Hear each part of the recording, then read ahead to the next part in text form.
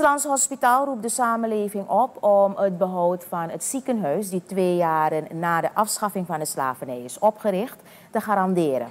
Om dit zo goed mogelijk vorm te geven, is er vandaag in de multifunctionele zaal van het hospitaal een inzamelingsactie gelanceerd. Het ziekenhuis waarin de meeste Surinamers ter wereld worden gebracht, focust op de crowdfunding voor, de, voor voornamelijk de, de renovatie van het moeder- en kindcentrum. Die exterieur, het dak is al in uitvoering. Uh, ja, het bedrag dat daar getypt is, is uh, waarschijnlijk, ja, is goed. Hier.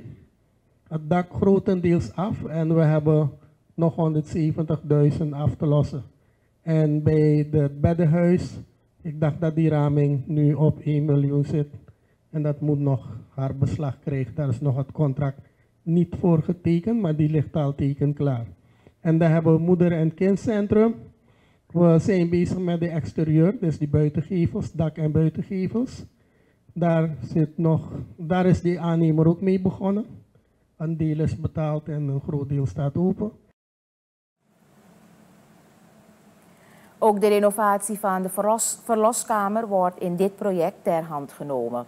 Directeur Dayashankar Mathura haalde aan dat voor de renovatie van de verloskamer het ziekenhuis nog 400.000 Amerikaanse dollar moet betalen.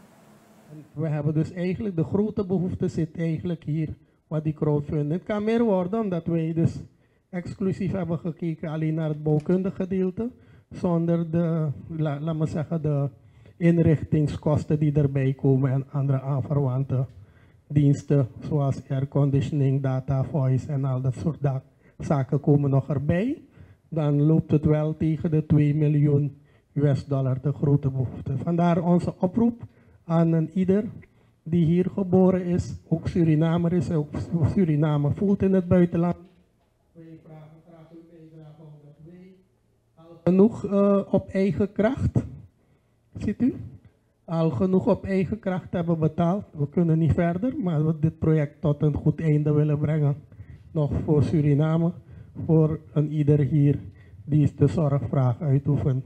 En ook een ieder die graag hier haar kind wil baren in Slaans Hospitaal. Het Slaans Hospitaal is het oudste ziekenhuis in Suriname, gevestigd in een monumentaal gebouw. Het ziekenhuis heeft zelf een groot deel van de renovatiewerkzaamheden bekostigd. Echter, met de huidige tarieven lukt het niet meer om dit te blijven financieren. Het ziekenhuis benadrukt in een informatievideo voor de inzamelingsactie dat ondersteuning van Slans Hospitaal gelijk staat aan ondersteuning van moeder en kind.